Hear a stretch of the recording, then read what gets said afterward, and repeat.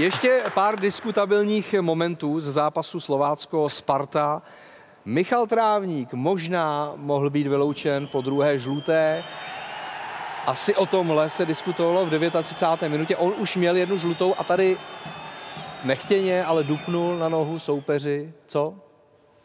Může to být žlutá taky klidně. Asi jako, no, v dnešní době asi možná jo, ale jako nebylo to umyslný, ani tam nebyla nějaká intenzita, takže si myslím, že je to tak v pohodě. Jo? A ještě více debatuje o Matěji Rinešovi, jestli on měl být vyloučen za druhou žlutou za tohle. Taky Rineš měl žlutou. To už za mě jo. To, to je mi Jo, jasný, jo, jo, že za to tebe už- jo. Ano, ano, To ano. už za mě jo, toto.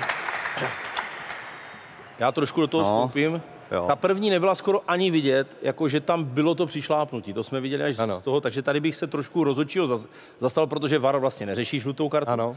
Ale tady si myslím, že rozhodčí stál dva metry před něho, takže tady měla být druhá žlutá a červená. Takhle to vidím já, obyčejný kluk z paneláku. Jak to vidí Jirka? Konkrétně tenhle faul nebo ty rozhodčí? No, konkrétně ten. Ne, tenhle faul jako je, je dobrý, co říká Péťa, protože eh, samozřejmě někdy se stane, že dostane první žlutou a ta první žlutá třeba byla na hraně toho, že ji dávat nemusel. Mm. Jo, takže to tomu hráčovi potom jakoby vrátí. Samozřejmě, kdyby ten faul udělal za chvilku znova, tak mu ji musí dát. Mm. Jo, takže někdy asi funguje i tohle to, že si třeba řekl, je, tak já mu dám předtím moc přísnou, takže teď se na to podívám jinak. Samozřejmě ten trend, každý rozhodčí píská jinak, jednou to faul je, jednou to není, jednou na to VAR kouká, jednou na to nekouká.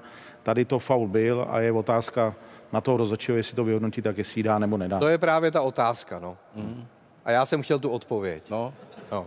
Takže tohle asi na žlutou bylo. Ano. Tak, když vždycky nevíš, tak řekni, no souhlasím se švancem. Tady, No, já vlastně s tím souhlasím, no, ale to ani nebolelo, to ani nebolelo. Což se tady děje málo kdy. Ano, to se tady děje málo kdy. Sledujte kanály O2 TV Sport, kde najdete další zajímavé ukázky a rozhovory.